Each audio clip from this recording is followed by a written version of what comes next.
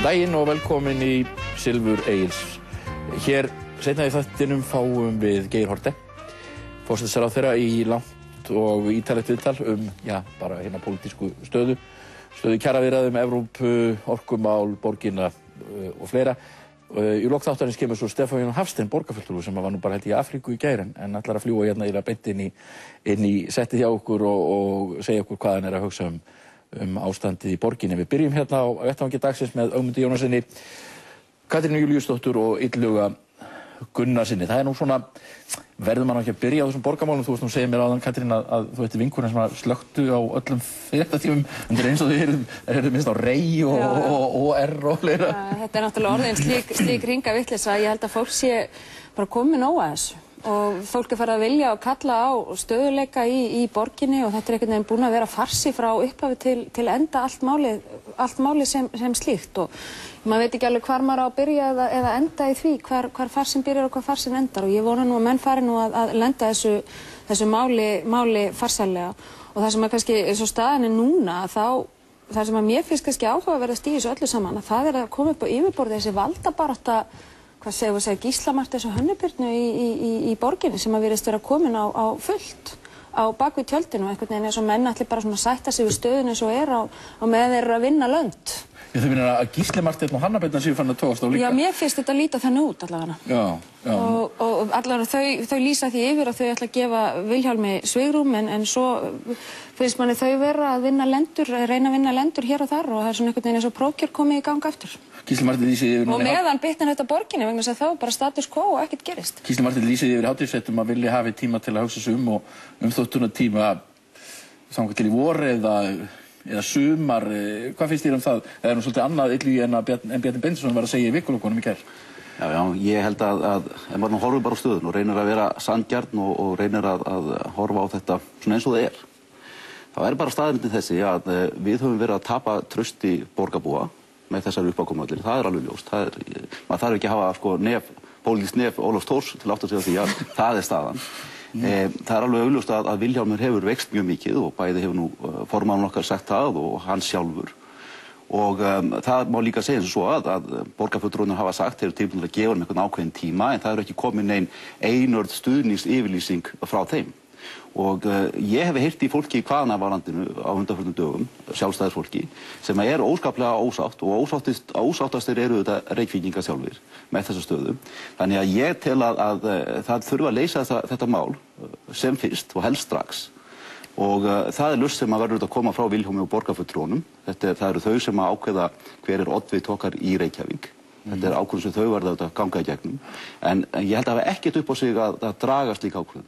Því, fyrr, því betra fyrir Reykvíkinga, fyrir eh, sjálfstæðarflokkin og líka fyrir hann Viljón. Því að það lítur bara að vera alveg skjálfilegt að, að standa með þessa stöði í höndunum, vita hvernig landið liggur og að þetta einhvern veginn svona kvíla ámanni dag eftir dag eftir dag. Þannig að fyrir alla sem að þessu máli koma, þá er það mikilvægt að þetta mál klárist sem fyrst. Vilt þú að Viljómin fari frá? Ég held að staðan sé bara einfallega svona. Að uh, það sé að hafa verið rétt ákvörðum að gefa hún þennan tíma til að velta þessu fyrir sér. Mm. Þetta var þvílíkt gjörningaveður sem að þarna skall á að það var alveg eðlileg krafa sem hann setti fram að hann fengi tíma til þess að átta sjóðstöðinni. En sá tími getur ekki verið langur. Nei, vika þá? Vika, tíu dagar, hvað þannig er. Það er bara augljóst að það þarf að gera sem fyrst. Ég hefði gert að vilja sjá að þessu máli væri lokið fyrir sjálfstæðarflokkjunum og fyrir borgarbúa. E, mér finnst þetta bara að vera einhver spurning með einhver daga. Sko. ef, ef ég fengi að ráða þessu, þá vildi ég að þetta mál veri leist sem fyrst. E, hérna, en þú treystir þess að ekki til að segja hvort að, hvort að þú sjálfur styrði Viljámi? Þess vegna sagði ég mig dánan. Þetta er ákvörðun sem að borgarfulltrúarnir og Viljámi verður að taka saman. Það eru þau sem ákveð hverju þeirra oddviti í borginni. Þetta er þeirra ákvörðun. Þau hafa líðræðislegt umboð til að taka þess ákvörðun. Þau gengur gegnum prókjur og hafa umboð frá uh, fólkinu í sjálfstæðarflokknum. Mm. Þau gengur gegnum kostingar og hafa umboð frá borgarbúðum. Þetta er þeirra ákvörðun. Ég tel að það sé ekki með nokkrum hætti, hætti að tala um það að Viljámi Eh, en síðan er það bara þeirra ákvörðun. En hvort hann á að hætta sem? Já, síðan er það þeirra ákvörðun, þau verða að taka það ákvörðun. Þau verða að taka það ákvörðun sem fyrst. Svo er þetta bara einn á málunni þar að segja að sjálfstæðismenn í borginni leysi sinn vanda, en síðan er hins vegar reymáli sjálf, það er ekkit búið. Við höfum eftir að fá skýslu umbóstmanns alþingis til dæmis mm. og niðurstöðu hennar sem að fer án ef að mun dýbra í málið heldur en að, að skýslan gerði sem að var skilað af, af og ég held að, að þannig að, að það mál því er ekki lokið ennþá þannig að við höfum eftir að sjá alveg heilmikið koma, koma þar upp úr, upp úr kossum þegar að ég held að, að þegar að svo skýsla kemur fram En segðu mér, segðu, ég ætla nú aðeins að halda mér meira við því, hérna, er, er þetta skaða sjálfstæðisflokkin? Já, ég er þeirra skoðun að þetta hafi okkur. Eh, Ég held að þetta sé ekki einhver langtíma skadi, ekki ef við bregðumst sæmilega snemma við. Eh, við þetta, svona lagað getur gerst og, og pólitíkin er jú bara þannig að svona atbyrði geta á sér stað. En þá gildir öllu að vera fljóta að bregðast við og uh, taka þannig á málum að við endur heimtum þá það tröst sem við höfum tapað. Því ég er alveg samfærum það að bara okkar málatilbúnaður stefna sjálfstæðarflokksins og þeir ágætu einstaklingar sem þarna standa baki, allt er þetta þannig að, að við verðskuldum mikið og gott tröst. Við fengum það í síðustu kostingum þessi hópur sem bauð fram, þessi hópur sem var í frambóði fyrir sjálfstæðarflokkin undir fórustu Viljáms fekk mjög ágæta kostningu, skulum ekki gleyma því. Viljámur hefur átt mjög farsalan fyrir og góðan, þannig að það er engin spurning um að, að við getum að sjálfsögðu laga þessa stöðu og það verðum við að gera og hver dag sem líður finnst mér vondur. En Davíð Oddsson orðaði þetta nú ágætlega hérna, spurður að þessu máli, hann svaraði svona skemmtilegt í öll, en það er hægt að lesa í það líka. Hérna, getur þú sjálf mér hver er staða Huddersfield í ennsku deildinni? Já, já, það er, það er náttúrulega, er selabakastjóri og hann, hérna, er hlut að gæta sinni, ég held að þetta sé nú alveg lengsta sem hann getur farið í að kommentera á þessa stöðu. En það kemur ekki Huddersfield tapaði það, með já, já, það 3-1. kemur ekki óvart að hann, hann þekki til Huddersfield. Er hann stöðnismæður Huddersfield? Já, það það er bara svo merkilegt með hann Davíð, sko, það er hvaða hlutum hann veitir aðtigli og hérna, ég er ekkert frá því að, að ef þú myndir spyrja hann þá geta hann rakið fyrir þér heilmikið kringum Huddersfield og, og statistikki kringum þá. Já, nú, en nú er að koma skoðanakannanir sem sína, sko, eru reyndar, þetta er ekki tröstustu skoðanakannanir sem, sem að maður veit um, heimur og, og, og, þessar skoðanakannanir sem við séð, en þeir eru að sína sko samfélkinguna stærri en, en sjálfstæðisflokkin. Já, það, þetta er auðvitað, náttúrulega, er búið að ganga heilmikið á. Áhyggjuefni. Það er búið að ganga, ég auðvitað á- ánægð þegar að, að það sést að, að við erum að vinna gott starf samfélkingin og okkur hefur gengið vel síðan við komum í, í ríkistjórn að koma okkar málum á, á framfæri og auðvitað er þetta ágjú, auðvitað er þetta erfitt fyrir sjálfstæðarflokkna að gangi gegnum þessa tíma sem það er að gangi gegnum núna. Ég held að það vilji það engin stjórnmálum að vera stjórnmálaflokki sem að, að svona hlutir ganga á í og þetta, þetta hlýtur að mælast í, í könnunum og fólk er líka óanagt með hvernig sjálfstæðisflokkurinn í borginni hefur tekið á þessu máli. bara, bara öllu degið út þetta, bara ég má bara klára þetta sko, að, að það hefur þetta gerst hjá okkur ef við höfum farið niður í skólankunum. Það hefur gerst áður að, að samfélkingin hafi komist upp fyrir sjálfstaflokkin tímambitið. Já. Þess vegna er einmitt svo mikilvægt að við bregðumst við sem fyrst, við látum þetta ekki hanga yfir okkur þetta mál og snúum við vörn í ekki message bench íslenska stjórnmála að hann sé hérna stærstur, það er, ekki, það er ekki náttúrulega er. Í mál. öllum uh, ríkjunum í kringum okkur eru grataflokkarnir stærri en, en, en, en, en, Það eru aðeins náttúrulega hérna, ég er ansið hættur um að þetta mál komið til með að hanga yfir sjálfstæðarflokknum og ríkisjóninni reyndar allir í, e, í svona komandi mánuðum. Við skulum ekki missa sjónar á stóru línunum í þessu máli, um hvað það snúast. E, þannig var að í byrjun oktober að þá eh, var enga fjármagnið í þann veginn að læsa fingrunum sínum eða klóm í orkugeiran hjá orkuveitu Reykjavíkur. Og e, hið mikilvægi þessu máli er að tósta stöðva það að tósta koma í vekk fyrir það. Þess vegna er þetta þess vegna hefur þessi barátta e, Svandísa Svavastóttur og félaga hennar í, í, í Reykjavíkur pólitíkinni skilað verulegum e, árangri. E, nú erum við að sjá að þessi sömu fyrirtæki og voru að fá eða komast í eignarhald á þessum orkulindum að þeim vegna nú ekki afskaplega vel og jafnvel getgátur upp um að ímis þeirra sem að þarna voru áttu hlutamáli hafi verið að reyna að rétta sinn hlut Jú, jú. með því að komast inn í helliseiðina og inn í orkulindir á, á, á, á Reykjanesvæðinu. Þessa vekkferð hóf sjálfstæðisflokkurinn í í aðdraganda síðustu alþingiskostninga þegar að hann heimilaði sölu á 15,2% hlut í hittaveitisöðunni sem með því skilirði að opinberir aðilar að fyrirtæki í eigu almennings mættu ekki kaupa, það yrðu að vera, það yrðu að vera enga aðilar og starrindi maður svo að það var fyrirtæki með þessum FL Group sem nú stendur höllum fæti e, hafði svona meiri hluta, hluta vald og nú erum við að sjá á þessum fallvöldu mörkuðum hver varasamt það er að hleypa enga framtækinu inn í þessar grunn auðlindir okkar. Og ég er ansið hættur um það e, illugi að þessi mál komið til með að hanga yfir þínum flokki og ríkistjórninni allir í í framtíðinu vegna þess að nú erum við að byrja að takast á um eignarhald á þessum auðlundum og um það snýst þetta mál sem betur fer st- tókst að forðaslýsi tímabundið í Reykjavík vegna frækilegar framgöngu okkar fulltrúa í, í borginni. Og nú er að sjá hver verður framvindan í þessu máli. Þetta er enda mikilvæg spurning því að, að þetta orkufrumvarp Össurar Þetta er miklu stærri spurningu heldur en Hanna Birna og Orkufrumvarp. Össurar er ekki komið en, en það út úr sjálfstæðarflokknum og það er ágreiningur milli innan, sjálfst, innan sjálfstæðarflokknum og við samfélkinguna um þetta frumvarp. Um þessi ákvæði að, að, að orkulindir skuli verið í almanægu og ég meina ég, þú sem ert nú til dæmis enga eignar sinni í sjáarútvegi mér- þætti þér illa brugðið að þú værir líka værir sko samegnar sinni þegar, þegar hérna fallvötnin og, og, hittin er bara, ansvar. það vill nú bara þannig til að ég var í engavenganendinni sem ymmit sá um sölun á þessum 15,2% Þannig að þú sem ættir að segja aður en ekki Vilhjálmur Ég mennur. er ekki með þetta mál. Það var ákvörður ríkistjórnarinn að ráðast í það og eina af rauksöndunum sem voru setta fram mitt vegna þess að menn töldu að það var ekki heppilegt að ofnbjör orkufyrirtæki keiftu hennar hlut voru meðal annars samkeppnissjónumið. Orkuveitur Reykjavíkur eða landsvirkjum keiftu þennan hlut að þá myndi það mjög skekkja alla stöðu á orkumarkaði. Já. En síðan, síðan er það hitt að menn voru þetta í því máli einmitt að reyna að skoða það hvort það væri flötur á því að búa til samstarf á milli annars vegar fjármagsins, eikafyrirtækjana og hins vegar orkufyrirtækjana til þess að búa til einhvers konar eh, stökkpall til útrásár í þessum gera. Sem að væri þó þannig að það væri ekki verið að hætta peningum skattborgarana út í einhver útvársverkefni út í Albaníu eða, eða hvað það nú er. En Það verða nú einhver- ger- nú leyfðu mér að- leyfðu mér að klára- framkvæmið leyfðu mér að þið. klára hugmyndum, þú er- varst að fara yfir. Uh, það var að vera að búa til þennan möguleika til að nýta þessa þekkingu að því það ég sé stóra mun á því að gera það með því að taka peninga og okkur reykvíkinga og fara með þá til útlanda og reyna að setja þá einhvern veðmál eins og segi niður í Albaníu eða Djibouti eða hvað það nú heitir Já.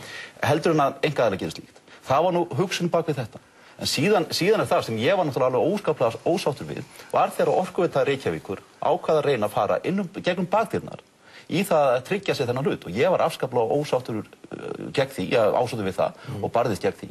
Eh, það var því miðurniðurstofn og ég held að það hefði verið sko, eitt af því sem var Illugi, virkilega fór það- illa það með er menn í ein- þessu máli. það er eitt í síðan, þessu. en síðan bara til þess að klára það því þú varst að spurja með, með sjálfstæðarflokkin og þetta frumvarp að við höfum tekið okkur góðan tíma, það er vissulega alveg rétt.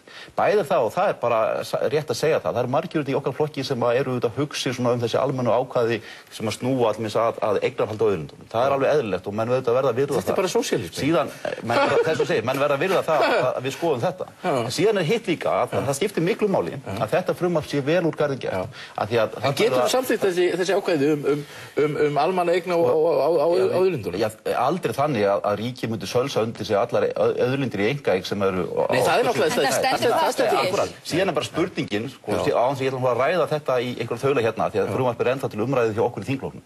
En það er auðvitað þannig, það er sitt hvað, sko, hvort að menn er að setja svona einhver, eh, sem ég lít þá á sem hálgerða bara stefnumótum. Svona almenn, eitthvað almenn, Já, almenn, vegna þess að slíkum, að slíkum, lögum má þá breyta. Ef að, ef að menn komast, ef að ríkistjórn svo næsta sem tekur við til dæmis kemst að þeirri niðurstöðu, heyrðu við viljum stefnumbreytingu þessu, þá er það raunverulega bara einföld lagabreiting sem stendur þá En að Staðan, staðan, var auðvitað, staðan var auðvitað þannig þegar þetta frumvarp var, var smíðað af Össuri að það var það þannig að, að þetta var skilið eftir þennan, or- skilið, þessi orkugjeri var skilið þannig eftir af framsóknarflokknum að það var lagaumhverju var alveg gríðalega opið og það var ekkert sem kom í veg fyrir það og við sáum það í hittaveitur Suðunesja að engaðilar eignuðust auðlindir Þetta er Það var ekkert sem kom í veg, ekkert í raun og verið sem kom í veg fyrir það. Valgerður gerði nú ekki mikið meira en að taka, að taka þetta inn í Evrópu, bara, bara það sem er, er að gerast í Evrópu. Og ekkert í ekkert- ekkert Sko. ekkert í núverandi löggjöf kemur í veg fyrir það að það, það geti orðið og þetta frumar gengur út á að stöða þá þróun, þar að segja, að reyna að koma einhverjum böndum á það, þannig að þessar að nú, eignir sem eru eins og háitasvæðin 88% þeirra eru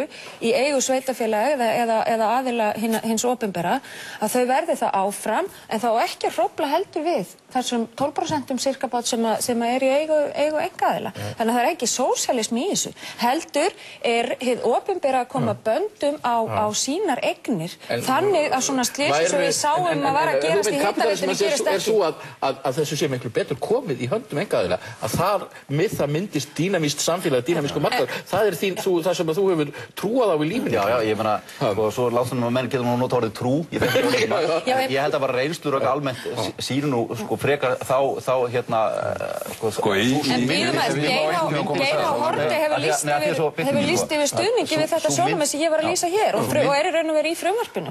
Hann gerði það í viðskiptablaðinu 12. oktober, þannig að það eru greinilega ekki alveg, Nei, alveg sem bara þetta er ekki alveg einfalt hjá þeim í sjálfstæðisflokknum. Almennt mála er þetta þetta, sem var spurning um auðlindir. Og ég er almennt þeirra skoðunar að auðlindir séu betur komnar í höndum einstaklinga heldur en, heldur en ríkisins. Til með eins og jarnæði, ég tel betra að bændunir eigi jarðirnar, ég tel betra að útgerðarmennir eigi sóknarréttin og svo framvegis. Síðan auðvitað geta komið upp mjög sérstök sjónamið sem að snúa að almannahagsmunum og eh, það er ekki þar með sagt að, að, að menn get ekki séð fyrir sér einhvers konar regluverk sem að menn segja að í nafnin til, til þess að tryggja einhver ákveðna almenna hagsmunni sem að verða til vegna þess að mann get ekki tryggt samkeppni eða eitthvað þess áttar að þá komi önnur sjónamið til sögunar en það breytir ekki þeirri almennu skoðun minni og þú mátt kalla það trú eða hvað það nú er að, að það sé betra að auðlindi séu í enga eign Minnst, í þessum, þessum málum tel ég þess alveg einsýnt að dreifi kerfi ráorkunar að ég tel að það sé vel hægt að raukstiða það að það eigi að vera í almanna eigu ég tel að það getur verið mjög skynsalegt ég tel að, að þeir einstaklingar sem að eigi orkuauðlindir, ég tel enga líkur á því að það fólk fari verð með sínar auðlindir eða rástaf þeim með einhverjum öðrum hætti eða minna skynsalegum heldur en ríki gerir. Og, og galli við þetta með það er, er að þegar það er þannig að ríkið segir við ætlum aldrei að selja svo ganga auðlindir kaupum og sölum milli enga aðila svo ef einhver þeirra dettur í hug einhver tíman að selja sveitafélaginu einhverjum öðrum þá er það bara svona svo svartól þá bara dettur það þangað inn og fer aldrei út. En úr því að mann finnst allir lægi að það gangi kaupum og sölum á milli manna út á markaðunum þá skilja þá, þá svona allavega þarf maður að hafa alltaf sannfæringu fyrir því að þetta sé besta fyrirkomulagið og þess vegna tökum við okkur góðan tíma í sjálfstæðafloknum og vöndum okkur Aðeins um þetta Bara er, örstutt í þetta. Má ég ekki aðeins koma inn í þessu umræðu vegna þess að þetta eru mjög svona einsleitt viðþór sem að þú ert að glíma við hérna handanbór sem stjórnar meiri hluta megin. Þannig það er nú eðlilegt að stjórnar hlutan uh, anstæðan komist aðeins að og eða gagstaði sjónamið. Í fyrsta lagi stillir þú því upp sem sósialisma sem hefur verið við líði á Íslandi um aldir. Að auðlindir þessara þjóðar, þessar lands og þessara þjóðar hafa verið í eign þjóðarinnar. Síðan hefur það verið að gerast á liðnum árum í gegnum uh, bara mjög, mjög nýlega í gegnum nýtt kvótakerfi í gegnum uh, lög sem hafa verið sett á allra síðustu árum að menn hafa verið að styrkja þetta enga eignarhald í sessi ég tel að við eigum að reyna að snúa þeirri, uh, þeirri uh, þróun tilbaka við eigum að láta markaðin vera það sem honum ber að vera að sjálfsögðu og, og, og þar sem að hann hefur góðu hlutverk gegna en þegar það kemur niður í yður jarðar eða e, í hvað var það sjáarauðlindina þá er það eign okkar allra og það er hlutverk okkar að tryggja sem byrjum í pólitíkin að tryggja hagsmuni þjóðarinnar. Síðan langar mig aðeins til að segja þetta e, varðandi e, útrás okkar. Við getum verið í útrás án þess að vera í risiko og braski. Það er, það er hægt og við höfum áður tekið það upp. Og í þriðja lagi þegar við erum búin að heyra þessa lærðu fyrirlesta hérna um uh, markaðinn og, og, og hvernig hann er að fungera þegar við nú skoðum veruleikan það er ekki nónefla að hugsa bara út frá hugmyndafræðin eins og Yllifi gerir. Hann er að segja á hvaða forsendum engavæðinganemdin sem hann uh, var í hafi skilirt sölun á hlut ríkisins í hittaveitu Suðunesja því að engaðili kaupi. Þegar að veruleikin síðan síð, leiðir það í ljós að aðilar koma þar inn sem að standa höllum fæti og eru að að styrkja stöðu sína á kostnað almennings í landinu þýðir það ekki að hugmyndafræðin íllugi þarnast endurskoðana við er bara- ég hefði að- haldið að- að- það þessu- og þess vegna á þessi að- ég verð að- endurskoðan á orku er þess vegna þarf þessi endurskoðan á orkufrumverfunum hún þarf að taka sjálfsögðum mið af þessu að styrkja eignarhald þjóðarinnar á þeim eigum sem hafa verið hjá henni um En það er aldur eitt og sem eiga ég að held verða að skipti áfram máli að draga hérna fram. Það sem ég held að skipti máli líka að draga hér fram að þið, þið eruð að taka, takast hér á svona svolítið sikur póllin. Nei, nei, nei, ég er bara að taka- ég er að ta- fyrirgeðu, þú skalt ekki- nei, nei, þú skalt ekki- ekki leggja mér svona orð í munn. Nei, að ég er að segja Ég- svo þetta blasir við mér og svona sikur póllin í, stjórnmálum er hérna svolítið að takast á. Nei, þið eru sami Og það sem skiptir máli, augmundur, er að tryggja það að, að, að auðlindendan fari ekki að ganga hér kaupum og sölum allar auðlindendan okkar í, í jörðu og það er það sem við- frumarpið á að, að ganga út á. Allir formenn allra stjórnmálaflokka hafa talað í þessa veru. Kollegar Illuga, til dæmis Árni Sigfússon, sögum með sjóður að kalla eftir þessu frumvarpi. Kollegi Illuga líka í orku, stjórnumfarmar Orkuveitur Reykjavík kallar eftir þessu frumvarpi. Formenn allra stjórnmálaflokka hafa talað í þessa veru, svo ég saði hér. Þannig ég held að það sé svo nokkuð breið samstæði megin línutnar og þess vegna trúi ég því að að að þetta frumvarp, þess að að að fari að, að, að líta, da- líta dagsins ljós og koma, og út við fáum að berja augun líka sem að erum í Össur hefur stjórnar náttúrulega líst stóru Því miður hafið þið stilt ykkur upp saman, það er rámt hjá þér fyrir hann samfélkingarinnar að stilla okkur upp sem einhverjum gagstæðum uh, pólum. Þið eruð með íhaldin á þeirra pól í allt og mörgum bara, málum. bara rétt aðeins út af þessum varandi söluna. Og þá sem að kaupa í svona, í svona í, þegar verið að selja eins og þetta hitaveitur Suðurnesja. Að það var náttúrulega gengið fyllilega á skuggum það og það var eitt af þeim skilurum sem voru sett við sölunæmundur að eh, menn, þeir sem voru að bjóða í eh, hlutina þeir væru borgunamenn fyrir því sem þeir ætluðu sér að kaupa. Það lægi fyrir. Voru þeir það? Já, já, ríkið fekk sinn hlut. Það liggur bara alveg fyrir og öll framkvæmdin öll, Langt undir því sem var komið síðan Nei, okkur vikum það, síðan. það var nú einmitt rætt alveg sérstaklega í þeirri sölu hversu gríðarlega og geipilega hátt verð var bóðið í þennan hlut það það það- nei, nei, nei, langtímahagsmunirnir. að því því þú lagður upp með þessum hætti mm. að því þú lagður upp með þessum hætti við. þannig að vera að setja einhverja eignir til einhverja aðla sem ekki voru borgumenn fyrir því Ég- er að tala um til lengri tíma litið, að halda Sem átti langhæðsta tilbúðið tilbúðunum var skilað í, í umslögum Þú vel- bara í menn þú hefur- ert að nei, nei, hugsa í árum og áratugum. út frá sjónamið ríkisins þá var það alveg tryggt að þeir sem voru kaupa þetta þeir voru borgunmenn fyrir því og þeir greittu fyrir sinn hlut og það var Ég, hérna, því miður er tíminn að, fara frá okkur. Eh, ég ætla nú að fara svolítið út í umræðum efnahagsmál, ég er enda að tek hana með, með Geir Horti hér á eftir. Getum við ekki fengið að vera með Við honum? erum bara að sjá hérna banka... Er ekki komið nóg að þessum drottninga viðtölum við, við, við pólitíkus, Ha. við ráðherra sem að vilja bara fá að sitja innir? Er þetta var hérna þetta auðvitað merkileg vika. Þetta. Við vorum handa með viðskiptaþing þar sem ég held að hafi komið, þetta voru mikil tímamót að mínum að í umræðinu um efnaðasmál og framtíðin og efruna. Þannig að þarna var klárlega ítt út á borðinu öllum mögulegum hugmyndum um einhlið upptöku efru og það var sagt að krónan digði ekki lengur. Og það út frá þessu þurfum við stjórnmálamenn auðvitað að fara að hugsa. Og við í samfélkingunum höfum auðvitað alltaf haft sérstöð í þessum efnum. Höfum talið að, að við þurftum að fara þessa braut og, og ég held að, að þarna var orðið ákveðum vatnaskil í vikuna þannig ég hlakka til Það að- var merkileg þessi held sem, að að, í- meðal fyrirtækja sem að eiga aðelda viðskiptaráðinu og leiti það í ljós að 63% eh, fyrirtækja eða forsvarsmanna í fyrirtækjum voru andvíg aðelda að Európa-sambandinu 85% í sjávarútvegi, það kemur kannski ekki mikið óvart, en í stóru fyrirtækjunum Nei, það var, það var 63% stóru fyrirtækjana. Það var yfir helmingur sem var andvígur og aðeins 30% sem voru fylgjandi En Já, hins vegar finnst mér að svo umræði náttúrulega þarf miklu meiri dýft en við höfum hér næstu mínúturnar og, og, og, og stóra Þetta er bara spurningin alveg ljóst eginn sko að á næstu mánuðum, næstu jafnvel missum, þá snýst málið ekki um það hvort það er efri eða ekki efra.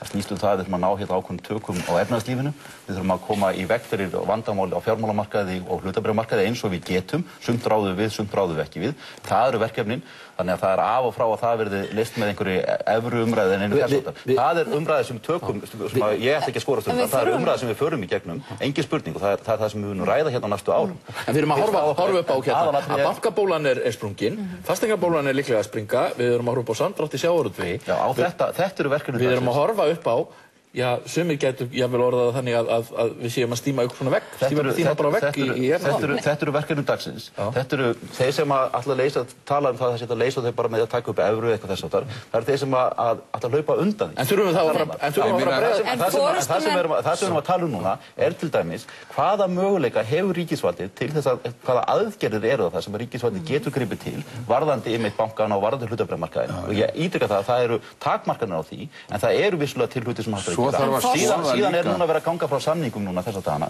Það er bara vonandi gengur það í dag. Það er stórt skref í þá átt að ná hérna góði jafnvægi. Þetta eru verkefnin en ekki það hvort það er efrið ekki. Nei, rétt eru- yllu og rétt hjá yllu það eru verkefni sem að ríkistöndin þurfa að fara í en enga síðu þá verðum við að hlusta á það að forsvarsmenn stóru fjármálfyrirtækin er að segja að Ísland og krónan sé orðið of lítið fyrir sérðu, þessara síðan fyrirtækja. að og taka það á þurfum við auðvitað að hlusta á og það, er, það eru raunveruleg, Já, já, við raunverulega að hlusta- sem menn er að gera og við horfumst ekki fram hjá því. Nei, nei, það við erum að, að skoða það, við erum að skoða samhengi hlutana, við erum að skoða hagsmuni sjávarútvegsins, við erum að skoða þá staðreind og hafa hana jafnan í huga að við verðum áfram samfélag og efnahagsleg eining sem að þarf að taka dýfum og sveiflum og spurningin er hvað á að gefa eftir, hvaða tæki höfum atvinnustíð, við að taka það með auknu atvinnuleysi, við að taka það með ríkisútgjöldunum, með, með, með sveigju þar, eða við að taka það í verðmæti gjaldmiðelsins. Það hefum við gert.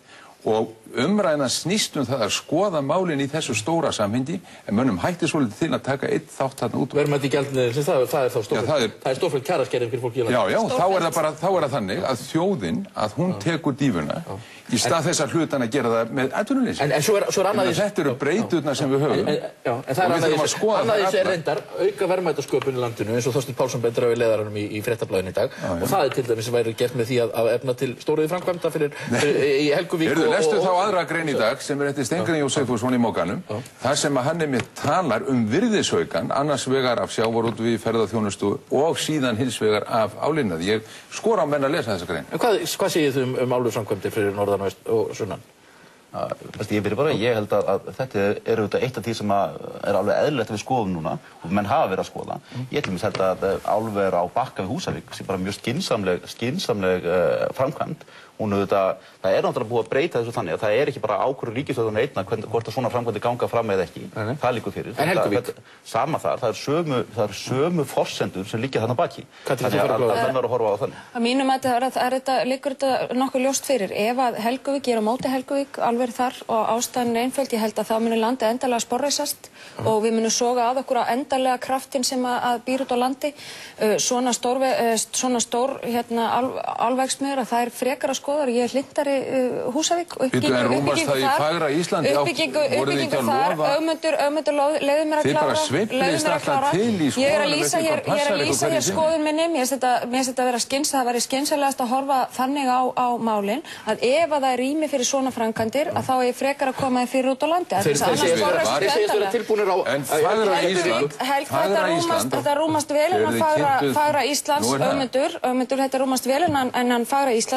Veistu vegna að ég veit og heyri að þú hefur, þú hefur lesið það.